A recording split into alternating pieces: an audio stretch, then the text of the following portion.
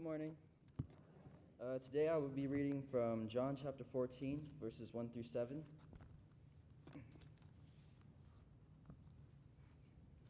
Do not let your hearts be troubled. You believe in God, believe also in me. My Father's house has many rooms. If that were not so, would I have told you that I am going there to prepare a place for you? And if I go and prepare a place for you, I will come back and take you to be with me, that you also may be where I am. You know the way to the place where I am going. Thomas said to him, Lord, we do not know where you are going, so how can we know the way? Jesus answered, I am the way and the truth and the life. No one comes to the Father except through me. If you really know me, you will know my Father as well. From now on, you do know him and have seen him.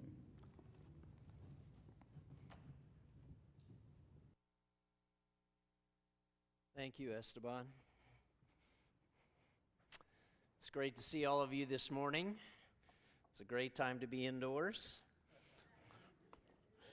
It's only 109, so uh, at least that's what my phone says. So, but it's a great time to be able to worship God, especially just put in five new air conditioners. So uh, that's just in order to handle what God throws at us. Uh, happy Father's Day to all of you. And uh, is a great time just to be able to have some kids here. I got to see some of those. And so that's really great if, if you're able to be here with your dad and, and just able to rejoice in that. So that's always a good thing. Lots of good things coming up this week. Uh, looking forward to the popcorn, I mean, the movie. Uh, hopefully, we'll be able to have a great time together. So I hope all of you are coming to that. There's lots of good things going on this week. So I want to talk a little bit about Father's house and about what that really means. The passage that Esteban has read is Jesus talking about a time when he's leaving and he's trying to comfort his disciples. How do we comfort somebody when we're the ones leaving and we're basically saying, You'll be fine? Uh, that's what he's really trying to do, but he puts it in this kind of a way of being able to tell them about this. And so he tells them he's leaving, and by that he means his death and resurrection. And so this is supposed to be encouraging to his disciples that he is going to be going. And he tells them about his father's house. He says, My father's house is so big. It's got lots of rooms, and there's lots of place for you and I'm going to go and I'm going to make a place for you.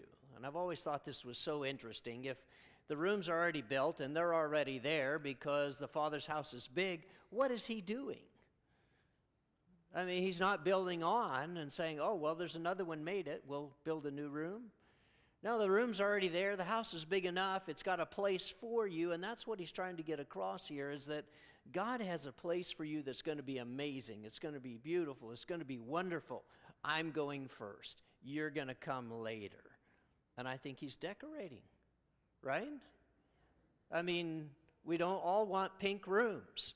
And so he's going to paint it the right color, put in the right things, make it the best he can be.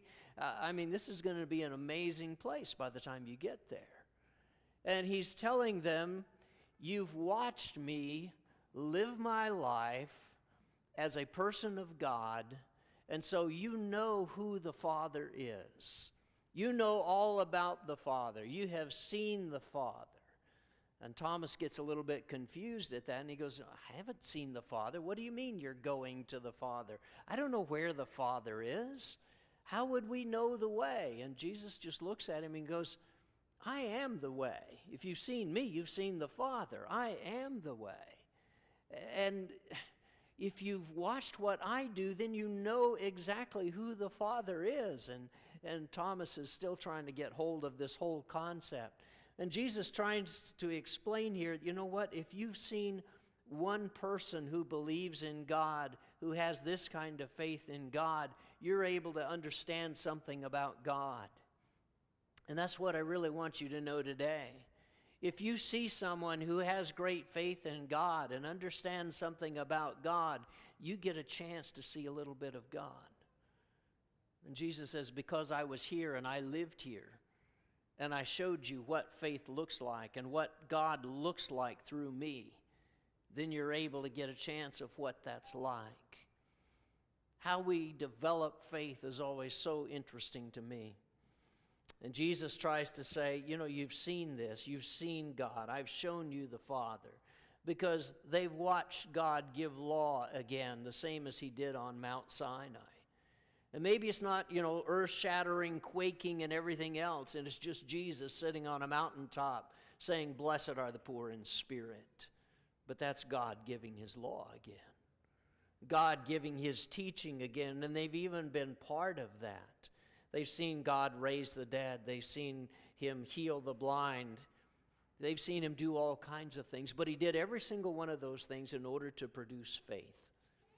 Because He didn't always do that. He didn't heal every blind man, He didn't heal every lame man, He didn't feed them every time for lunch. He only, he only gave them lunch twice that we have recorded. He didn't heal every single blind man. He didn't heal every lame man because as he walks through the pool of Siloam, he finds one guy and he says to him, Do you want to be healed? Well, there's people everywhere. But he just heals that one. It's also that you can have faith in God, and by having that faith, it changes your life so that you're able to be with Him. That's what makes all the difference in this. And so it's a way of teaching or a way of training. And now he comes to that part where he says, And I'm going to be leaving. And that may be the hardest thing. That's really the big test, isn't it? I mean, we can believe as long as somebody else who taught us is there, somebody else that we know about is there. And we can believe as long as they're there watching and encouraging and lifting up. And then, you know what? When they leave us, it gets a little bit harder, doesn't it? If the guy who trained you, taught you, knows you, then you get away from home or away from them, and it's, it's harder to go anymore because you don't know anybody there. And now it's got to be because you believe, not just because they believe. And that gets tougher to do. We get where we're much more difficult in doing that. That's why when people go away from home for the first time, there's no telling what they're going to do. Why? Haven't they been taught? Haven't they been trained? Haven't they seen how their parents lived? And this is the way you will behave from now on, right? Oh, we all know better because of what we did. And why is that? Because we don't learn what it really means how to live from watching them. And somehow we've got to be able to develop that kind of faith where we can see a person with faith and we are able then to have faith because of them. It's what Jesus says here. He says, I'm going to leave. You're going to be on your own. And they're about to panic. What? You're leaving? We don't know where God is. We don't know the way to God. He says, You've seen me, you've seen the Father. Don't panic. Just do what I've taught you to do. And that is such a, a huge thing because it doesn't matter whether he's there or not. Now, it does get harder to believe when it's not visible, but he's taught us how. It's about this concept of total surrender. And that's really what the book is talking about today as we talk about believe and about what all that means this idea of total surrender. And total surrender is when you really give somebody else control, when you really give God control. I think we let our parents have control for a while and maybe fought against that toward the end. But this is about when we surrender, knowing something will work because we believe in what they're doing. We believe something is right. We believe in Jesus. And we believe if we follow him, things will work, work right. That's the role of fathers today. Fathers is about total surrender. One father is more than a hundred schoolmasters because you watch how he does it, and you watch why he does it, and you watch the way he does it so that you can do it later. And that's really the way it has to work in all of this. A good father means total surrender. It means giving up things for your family. You give up everything but family. It's one goal to raise your family to be happy. And I don't mean happy for 30 minutes, I mean, to raise them so that they are happy all the time. It's not just a happy minute. Train them to always be happy. And that takes time and that takes energy. Uh, it isn't that you have to give up every minute of every day, though. You just have to give up all the time when you wanted to do something else. And just as soon as you thought, I'll get a little bit of time in order to do, oh no, you're needed now. And that's the only time you have to give up, is every time that you thought you wanted to do something. So that's just one of those things that happens. Uh, that's really what it's all about the surrender of self in order to be a father, so that your children will learn what it means to surrender themselves so that they can be a father. It's not even expecting total commitment, it's expecting some kind of commitment. Can we find that in our world today? Where people would really understand and believe what's going on. I think we see this in Jesus as we look at his surrender and the things that he was able to do. Hebrews 12, looking back at Jesus and commenting on what's going on with him, he says, Therefore, since we are surrounded by a great cloud of witnesses, and he's talking about all those people from faith that are mentioned in Hebrews 11, he says, Let us lay aside every weight and sin which clings so closely, and let us run with endurance the race that is set before us looking to Jesus, the founder and perfecter of our faith, who for the joy that was set before him endured the cross, despising the shame, and is seated at the right hand of the throne of God. Consider him who endured from sinners such hostility against himself, so that you may not grow weary and faint hearted. And that's the reason he says, I want you to look at Jesus because he's the example of how to do all of this. He's the example of this total surrender because he surrendered everything to God. That's really what he was all about. Certainly, I don't know that Jesus came up and said, Guess what? I would love to go die on a cross. No, I think that's probably not going to be the first thing any of us would think of doing, but is he willing to? Yeah. That's what we read about is that he's willing to give his life on a cross. And why? Because of who it makes God. It makes him able to reach. It makes him able to do. It makes him able to save. Because without that, you don't have grace. Without that, you've got law of Moses. Everybody better behave. And Jesus said, we need a better way. We need a different way. We need a way where people can believe, not just follow law. And he says, I'll come to earth and I'll show them exactly what it means to live a life that is dedicated to God, to live a life that is full of surrender. And yet, Jesus was very much his own man. He very much did all the things that he wanted and taught, and he was able to do things that were just incredible as you look at him. What a guy. I, I mean, He's changing the world because of his surrender. I hope you get the parallel. It's usually not because of our might and force that changes the world. It's more because of what we stand for and because we believe in something.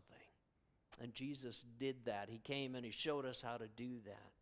And as you look at the passage, it talks about He believes in this plan. He believes that if He died on the cross, you would listen because you're not going to read the book. Everybody knows that. Guys don't read the book. We're going to wait for the movie to come out, and then the movie isn't all that good. But maybe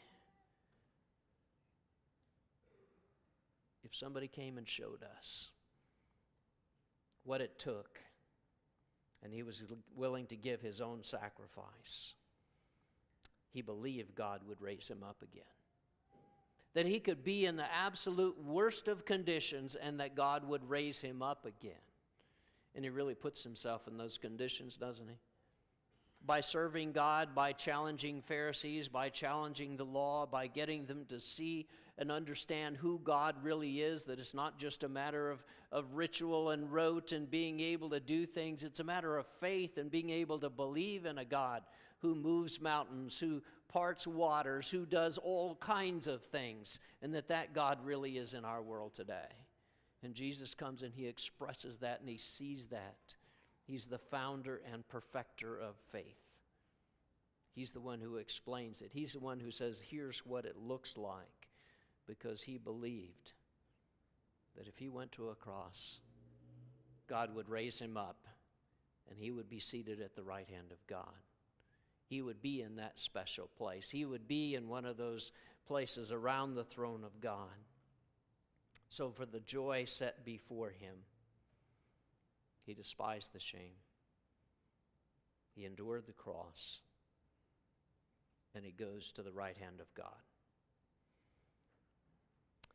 For the joy set before him, for the joy of resurrection, for the joy of the completion of grace, for the joy that mercy brings, for the joy that redemption holds, for what it means for God not to fall short so that he couldn't save. It would mean that God so loved the world if Jesus dies on a cross. He makes that verse true. He went through it, he endured it. And all we have to do is follow him. And yet, for some reason, we still find that difficult, don't we? And we don't quite understand. And so, Jimmy told a story in class today about his dad and about what happened with him. And so, I always stay away from stories about me. However, my wife has encouraged me to be able to tell a story about me this time or about our family more than anything else. Because we were talking one day and we said, well, you know, why is it that I don't have any trouble believing? And that other people seem to have a terrible time believing. I mean, even when you show them all the stuff, it's that, you know, they find, yeah, I see it all there, but I just don't know that God would ever come through for me. I'm like, well, of course He would. Why would you doubt that? And it just seems like, you know, uh, there's so many people that just really don't get that. And as we've talked about it over quite a few months now, I've come to realize maybe it's where I grew up. And maybe it's a little bit of what I went through because I had a guy of faith who was my father. And I was able to see his faith as he explained God. So here's the story. Sorry, it's a little bit long. So, my parents are in college, out of college. I wasn't there. I don't know. At least not yet. and my dad wants to go preach somewhere, and he wants to go preach in Africa because that just sounds really cool to say, I'm preaching in Africa. And apparently, I was somewhere on the way, and the doctor said, No, if you go to Africa, you'll kill the baby. My dad said, Okay. No, he didn't really say that. so, what's the next, next best option? Well, the next best option apparently is Alaska. Because you cannot stay within the continental United States and be considered a person who really has faith in God. So, apparently he decides that Ketchikan, Alaska is the place where we're going to be. Now, in order to get into Ketchikan, it's a little bit difficult. Uh, the only way in, since it's on an island, the island is Revillagigedo. I'm sure you will all remember that. Uh, but it's just a big island. It's off the coast of British Columbia. Actually, there's you know parts of Alaska there on the coast, but no one lives there. So what's the point? It's off the coast of British Columbia, the closest in, inhabitants, and the only way there is by seaplane or boat. This is a picture of a Grumman Goose seaplane, and this is how you would get off. It holds maybe 10 people. So I just want you to realize where this place is and what this place looks like. So I'm going to give you a few pictures of, of what this looks like. Um, that's the only way in or out. Uh, here is the city big thriving metropolis. Uh, actually, not. It has lots of logging because trees are everywhere. This is the, uh, it's not a tropical rainforest, but it's a rainforest. It rains probably 200 inches a year here, and so trees grow incredibly big. Uh, I've seen it where, you know, 10 guys can't stretch around the tree. Uh, it's, they're huge. And so that's where the logging takes place. It's also the salmon capital of the world, at least that's their claim. And so there's a tremendous amount of fishing, lots of canning, and my, my dad decides this is the place where we're going to go. Uh, I was six weeks old when we went there, uh, and we left and uh, arrived in Anchorage the day I turned 12.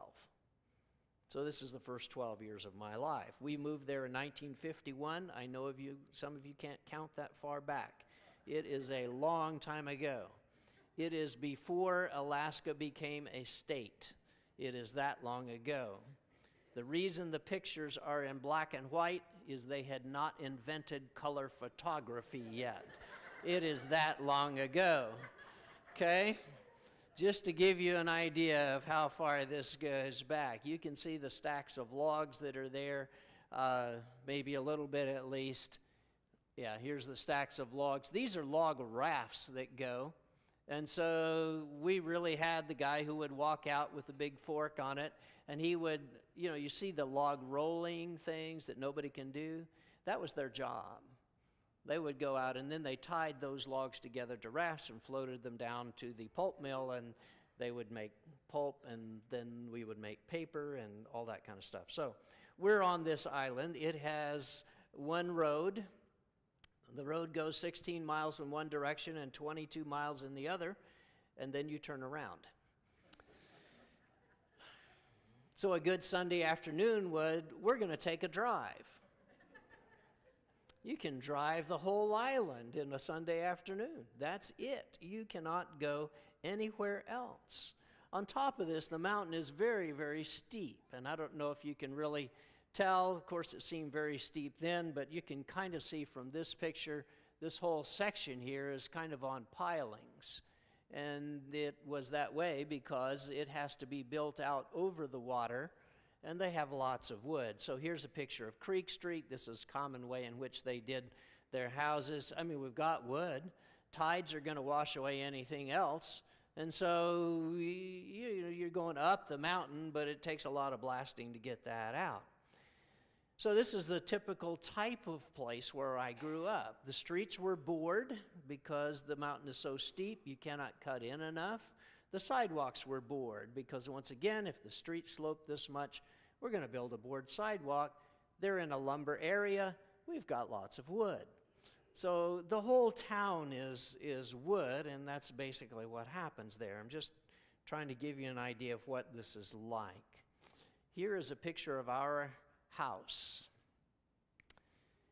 Here's a picture of the church building. They are one in the same.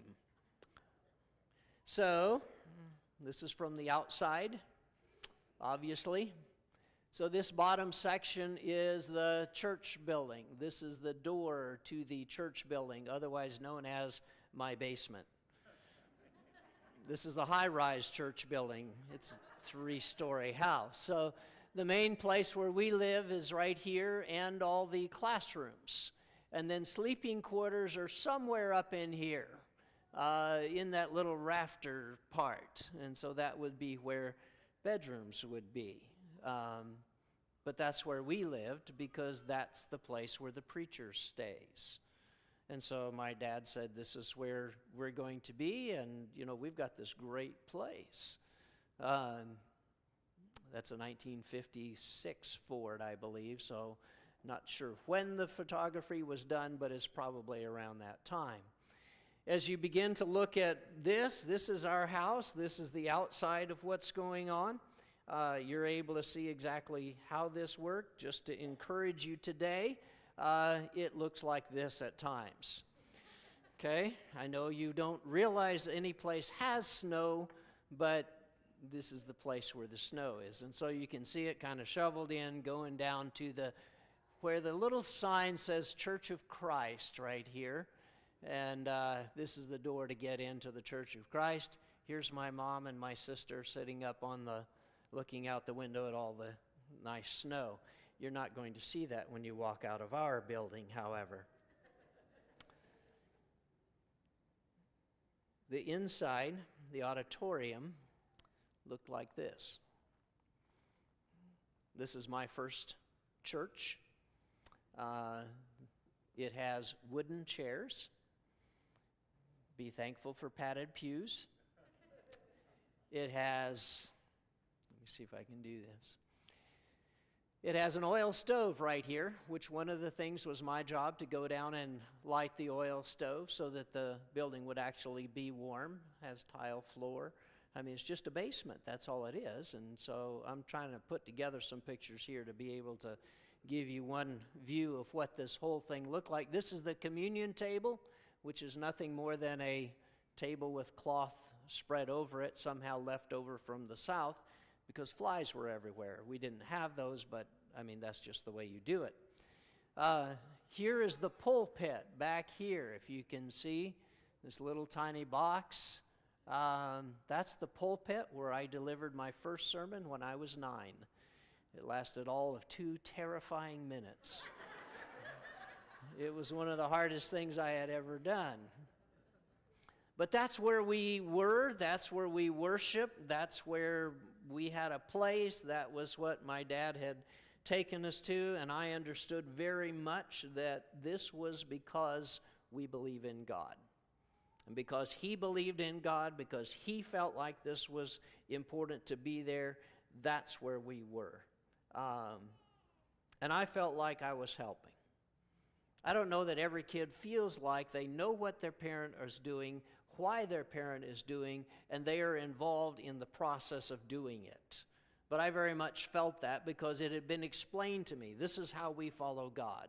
We are here, we are in this place, we are far away from everybody else. There is no way out. You couldn't get off this island if you had to. But the reason we are here is because of God, and we are here to serve Him, and we are here to do His will. And I felt very much a part of that. And so, for some way, and I really don't know how, that had been communicated to me, and I felt like I was part of that. Um, we didn't have any money. I can just put it that way. My dad had an electric motor winding shop. It was not like today where preachers are supported at all. My mom worked in an insurance office. We did not have the luxury of a stay at home mom. That was just an impossibility for us.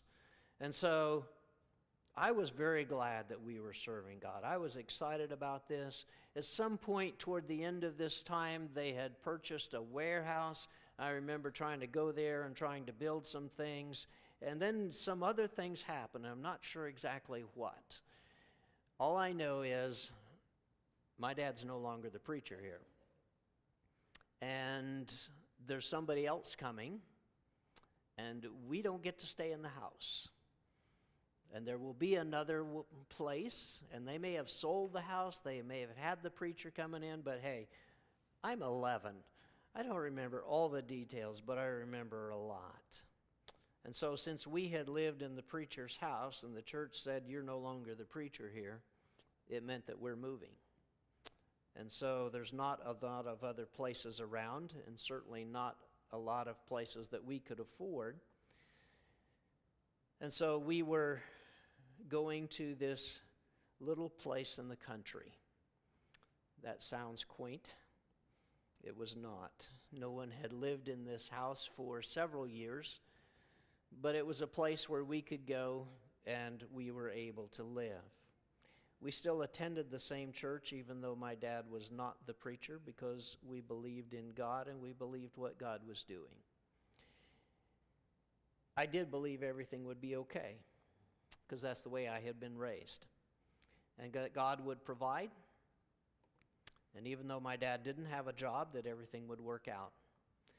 And so we went out and saw the new place where we would be moving to. It consisted of two rooms neither of which was a bathroom. It had a front room, it had what would be my parents' bedroom. There was no laundry, there was no hot water heater, there was no water, period. There was no bath, there was no toilet, there was no refrigerator, there was no oven, there was no phone.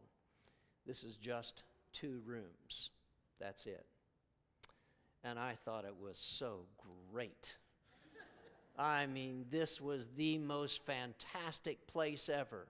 It was 13 miles out of town, 13 miles away from any other store, gas station, anything else, and it was surrounded by woods. And I could step out my front door and be in the woods. How fantastic can you get? I mean, there is not another better place to live for an 11 year old boy. I could go for miles and never run out of woods. And I did. We would go out to play, and I still don't know why, but my mom never worried about us. Where are they? Well, I don't know. They're out there somewhere within, you know, three or four miles. it's a hard time realizing that, that you know, that wouldn't be acceptable today. But after all, I was 11. I was grown up. I knew what I was doing in the woods. I wasn't going to be lost. And, you know, you learn your way around. And so this was the most fantastic place. It was great. So, in moving 13 miles out of town, you might need a good car. Um, this is not our car I'm going to show you, but this is the same model as our car. We had a 1939 Chevy coupe, no back seat. We sat on apple boxes in the back long before the days of seat belts, just because it was way too hard to stand up, crouch down like this. So, okay, we need something to sit on back here. And that was the only transportation. This was about 1961, so the car's over 20 years old. Uh, and we're 13 miles out of town, 13 miles from the next house with no phone, 13 miles from a gas station, 13 miles from anybody who can help. Now, there were few people along the way that lived out that direction also. So it's not like you're away from all people, you're just away from anybody who's going to help. And so you can't buy anything out there. If, if you forgot milk, it's a long way back to the store. So my dad set about fixing things in order for us to live in this place. The first thing was there was already a bathroom. That was great. There was a two seater out back that had this nice little boardwalk, and there was a Sears catalog. Took me a while to figure out what that catalog was for. I thought, why would they put the catalog in here? Just to look at pictures? And then it finally dawned on me okay, maybe it's for other things. Be sure you use the non interesting pages. so we needed a place to keep food. My dad had found a steel box. I think it was, you know, I don't know how big it was. Mounted it on the front porch. We very seldom had to put ice in it because it was cold enough. Sometimes things would freeze, but not all that often. This is a fairly mild climate north of Seattle uh, 200 inches of rain a year. And so there's a lot of rain, but it stays, you know, 30, 40, something like that. It's eh, 50 maybe on a good day, but, but it never really gets that way. And so that was our refrigerator. And so that would keep things cold on the days when it did venture up to 60. We got a block of ice and we would put it in there, and so that worked. So we didn't have water. And my dad did what I thought was the coolest thing he went out and he built a box. And I can remember him helping him with the box. The box was maybe a little bigger than this. It was about four by six feet, as I, you know, my memory's not really that good. And everything's bigger than what you, or smaller than what you actually remember. And it was up off the ground. And he lined it with visqueen and ran the gutters so that they would go through a filter into this box. Ran a hose from there to the front faucet, put in a pump. We had the best water ever. It was collected off the roof. Whenever you wanted water, you just flip the switch by the sink and you have water. I thought that was great. Nobody else has an electric faucet. I mean, who else is going to have an electric faucet? All we have to do is flip the switch, and sure enough, water comes out, and, and we were good. However, you know, you can't really drink that water, and so drinking water all had to be carried from town. And someone had invented in World War II these great big army cans. I think they had gas in them. They're five gallons apiece, and they're steel. and they are heavy. So it was my job to be able to carry the water.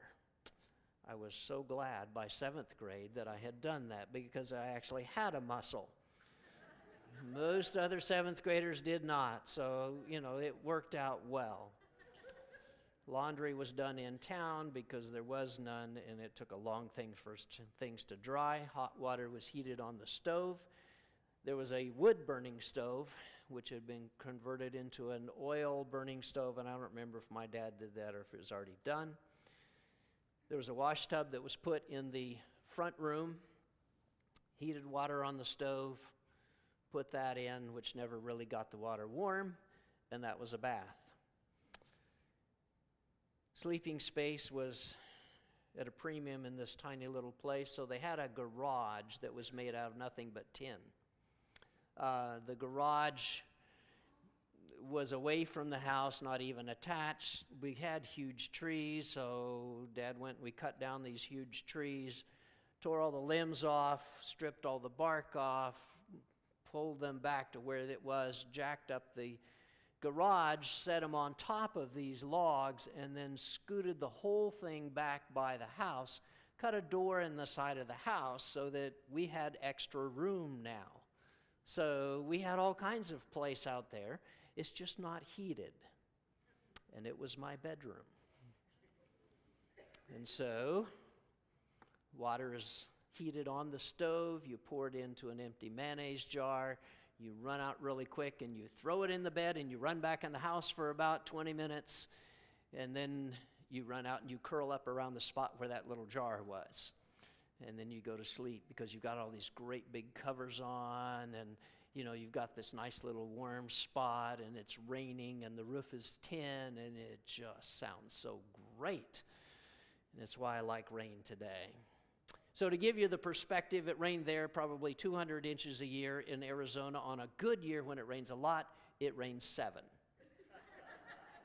okay? So, just that's the comparison. But we were okay. Things were good. My dad was figuring out things. I wasn't really worried about it. I was his helper. I had helped with the box for making water. I hauled the water. Uh, it gave me great faith because I believed in the process. We were here serving God, and that's the reason we were here. And if it took this to survive, then I understood what it was all about. But the final blow came when we're not making it because we're just not able to survive on this. Um, I learned later they were severely in debt. And so he has got to find a job somewhere else. Well, there's nowhere else on this island you can find a job you can imagine there's no place to go. And so that's really the way it is. And so the plan was for him to apply for a job, and he applied for a job outside of Ketchikan and was immediately accepted in civil service in Anchorage. And they tried to put him off till after Christmas, and I believe he left the next day. And we would spend six months without him while we finished school and I was the man of the house. And the plan was for dad to go to Anchorage to get a job, to get a car, to find a place for us to live, and I would finish school. We would pack everything up. It's only six months. But it's six months with no phone calls, because you realize we have no phone. It's six months with maybe a letter. And so I would not see him for that amount of time. And that's really what happened. We had been through a lot, we had made it work, and somehow I knew it would be okay. Because my dad had taught me God does this.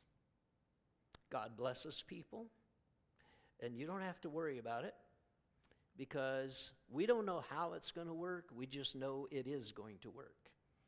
And we sometimes develop this crazy arrogance that things are going to work, which drives my wife crazy. and maybe a little bit misplaced. But it's there nonetheless. It's what we believe, even in the face of common sense. So I carried water, I did everything that we could, and we finally got ready. The only thing we could find to put our stuff in was an 8 by 10 trailer, and so we left most everything behind. We pulled that onto the ferry Malaspina. This is a picture of Malaspina. It's no longer functioning, I don't believe. And it took about three days to sail to Haines. And we hadn't heard from him or talked to him in six months. And I got very concerned because all we have on this boat is a trailer. And I can't pull that trailer off. And I haven't talked to my dad in a long time. And I knew he's supposed to get a car and he's supposed to get a house, but does he know about the trailer hitch?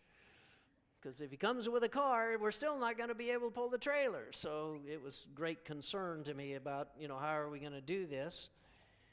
But when we got there, he finally shows up with a 1950 Chevy with a trailer hitch.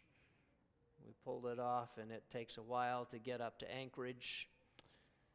We finally got to Anchorage and we pull up in front of the most gorgeous place I've ever seen.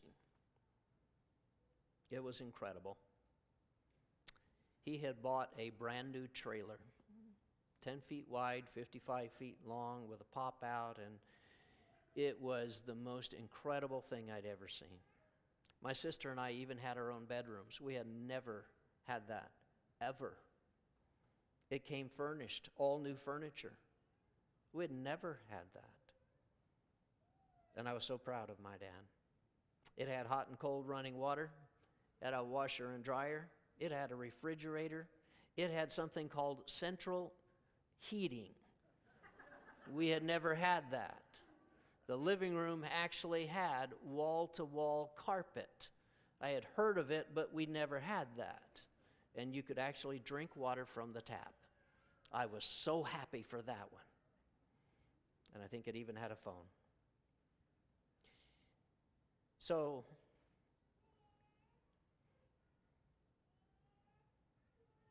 the passage when Jesus says, I go to prepare a place for you, makes sense. Because I know what that's like. And I know that's going to be an amazing place. And I know I'll be with my Father. When we know God, we don't have to have doubts about what's going to happen. Somehow things are going to work out. And we need to be people others can trust that shows them this is who God is. My dad did that for me. And he says, You know what? We live here because of God. We do this because of God. We worship because of God and we do all of this, and maybe it's bottom line survival, but it's because of God. And I realize a lot of you are going to have a lot worse stories than this. And I'm not trying to tell it so that it's the worst story. I'm trying to tell it because that's where I learned faith. And I believe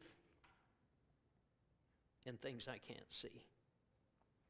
And I believe in that relationship of a son and a father I believe things can be incredible there. All through this, I never thought anything was bad.